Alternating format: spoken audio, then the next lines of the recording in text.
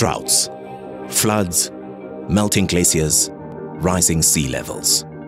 Climate change is affecting our whole world and putting our freshwater supplies at risk. Climate change is shifting rain belts and deserts. Floods are becoming more frequent and dangerous. While droughts have always been part of our natural climate cycle, climate change is increasing their intensity and duration. In mountain areas, glaciers are retreating, ice and snow are melting. As this fresh water runs into the sea, the water supplies of billions of people are being severely threatened. Over 2 billion people live in countries experiencing high water stress, while around 4 billion people face severe water scarcity for at least one month every year.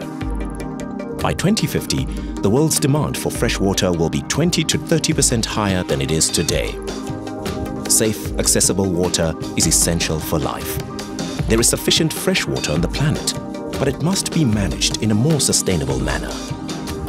We cannot manage what we do not measure. We need to carefully track and manage our most precious resource. We need to improve the way we forecast, monitor and manage water supplies. We can only achieve this if we work together to collect and share water and climate data.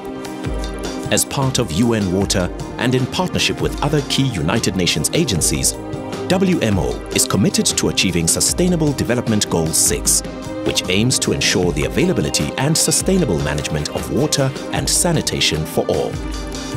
A water and climate coalition, which includes WMO, is taking steps to ensure countries are able to accelerate sustainable water development. WMO is working hand in hand with national meteorological and hydrological services to do this. With stronger data and models, we can improve early warning services for floods and droughts and implement better policies to manage them. It's only by monitoring surface water, groundwater and reservoirs that we'll be able to measure our progress towards better water use. WMO wants everyone to be prepared for floods or droughts. It aims to ensure that water, climate and weather data support food security and that water projects are backed up by data and science. We must know the amount and quality of our fresh water supplies. Water and climate information is essential to support sustainable development. Through the World Water Data Initiative, WMO is working with countries to develop policies that improve data access and use.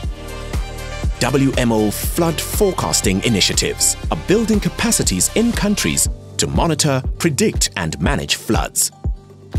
The Integrated Drought Management Program is supporting stakeholders by providing them with policy and management guidance, as well as sharing best practices and knowledge.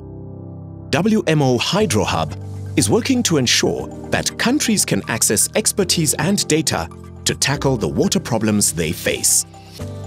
WMO is also developing the Global Hydrological Status and Outlook System to monitor and predict global freshwater conditions around the globe.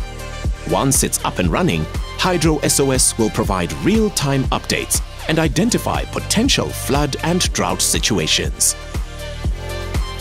With better monitoring and management, we'll be better equipped to protect our communities and environment while ensuring we have enough water now and in the future. We need to count every drop because every drop counts.